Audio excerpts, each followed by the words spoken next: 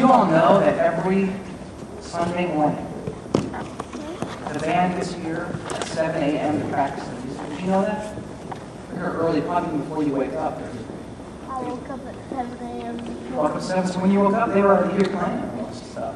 They come here every morning and Sunday mornings to practice for the worship, practice the music, they connect together. They do that so they can uh, learn more about what the music is uh, saying, but also to connect together and practice and uh, be better, be better for. Glad they do that. What other things do you think we can practice in our life? What things do you all practice in your life? Uh, riding my bike. Riding your bike? Good. Anybody else? What other things do you practice? What about sports? Anybody practice sports? Baseball. Baseball? Baseball. Baseball, awesome. Yes. Baseball. Baseball. Baseball. Football? Anybody, practice soccer? Yeah? Awesome. I play soccer? Play soccer? Soccer's fun. Yes, ma'am. Tennis? Tennis. Anybody play golf? Big golfers.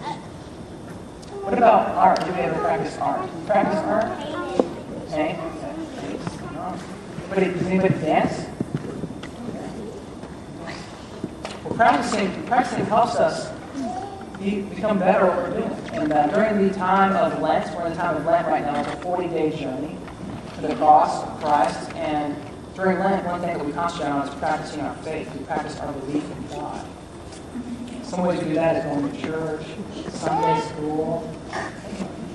Um, in Sunday school, we can also read the Bible to practice, practicing our faith in God. And uh, one of the biggest things I think we're encouraged to do during Lent is to practice praying. You all pray? Anybody pray? When do you pray? When do you pray? When do you pray? When I go to bed. You go to bed? Pray when you lie down. What else do you think you pray? Who do you pray with?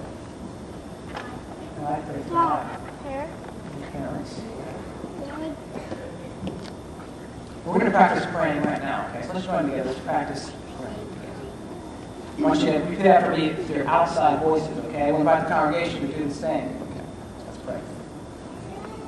Dear God, Dear God, thank you for today.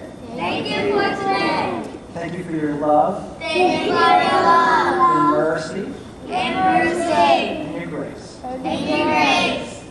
Guide us Guide us. and keep us with you Keep us with you. today and always. today and always. In Christ's name we pray. In Christ's name. Amen. Amen. Thank you for joining me.